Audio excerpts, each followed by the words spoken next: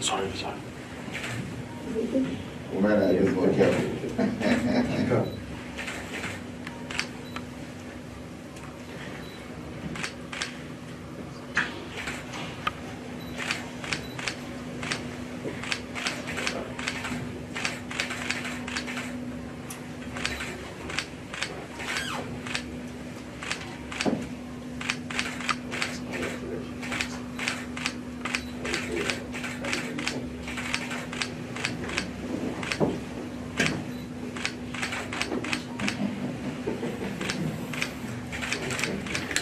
She's shy.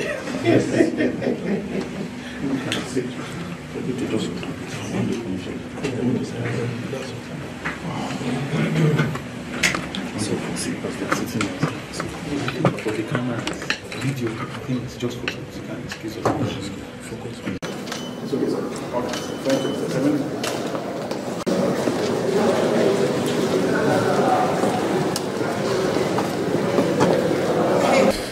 Thank you very much. Maybe I should start by expressing profound gratitude to His Excellency the President, uh, Commander in Chief of the Armed Forces, uh, President uh, Bola Ahmed Tinubu, and all the people that God has used to make him take this decision.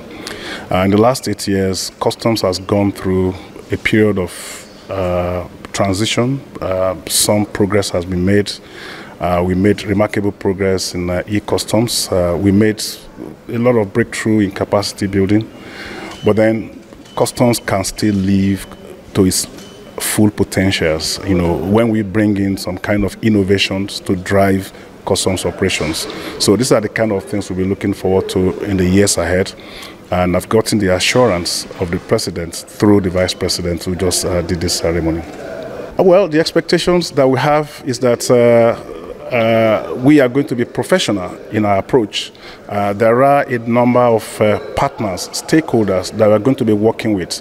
It's a very onerous task for the customs, but we believe that we will be working alongside other stakeholders, uh, other partners uh, that we have identified who yearn to work with us, uh, who felt that they've not been given enough. Uh, enough say in customs matters, customs operations. So we intend to come up with a number of innovations that would help to uh, carry along uh, those stakeholders, those partners. Uh, we're going to leverage technology. We're going to try and use those innovative technologies to break new grounds in customs operations.